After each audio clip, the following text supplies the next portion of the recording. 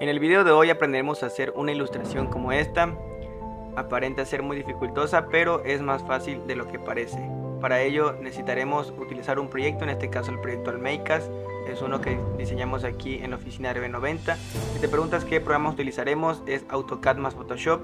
Conocimientos básicos. ¿Qué, qué les parece si comenzamos con el video?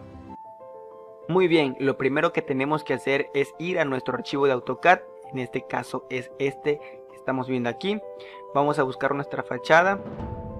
Por aquí la tenemos. Pero lo primero que tenemos que hacer es quitar o borrar todas las cosas que nos van a servir. En este caso las cotas, niveles de piso, suelo. Se las vamos a quitar para que quede más o menos así.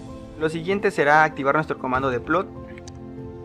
Y vamos a buscar la opción que dice PDF, que es esta. En ISO la versión A3, vamos a buscarla. Esta que está aquí. Vamos a centrarlo. Damos clic aquí. Y vamos a buscar nuestra carpeta donde lo vamos a guardar. Bueno pero más bien vamos a seleccionar nuestro dibujo.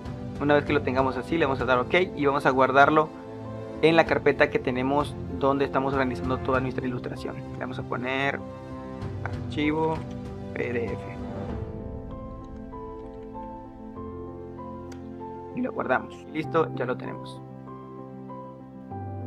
Muy bien, ahora nos cambiamos a Photoshop y lo primero que tenemos que hacer para hacer nuestro archivo nuevo es ir a la parte superior izquierda donde dice archivo, dar clic en nuevo, nos va a aparecer una pantalla muy similar a esta, depende de la versión que ustedes tengan en Photoshop, pero en este caso pues es esta, vamos a escoger en anchura 3000, altura 3000, en modo píxeles, resolución en 300 píxeles pulgada, en 8 bits y en color blanco. En modo de color vamos a escoger RGB ya que este es para archivo digital y CMYK para archivos de impresión y posteriormente damos clic en crear. Nos va a aparecer justo una imagen como esta en color blanco si es decidimos escoger el color blanco. Y les enseñaré una herramienta que es muy buena a la hora de estar haciendo este tipo de trabajos. Y es nada más y nada menos que dar clic en control más K. Y nos va a aparecer una ventana como esta. Vamos a la opción de herramientas.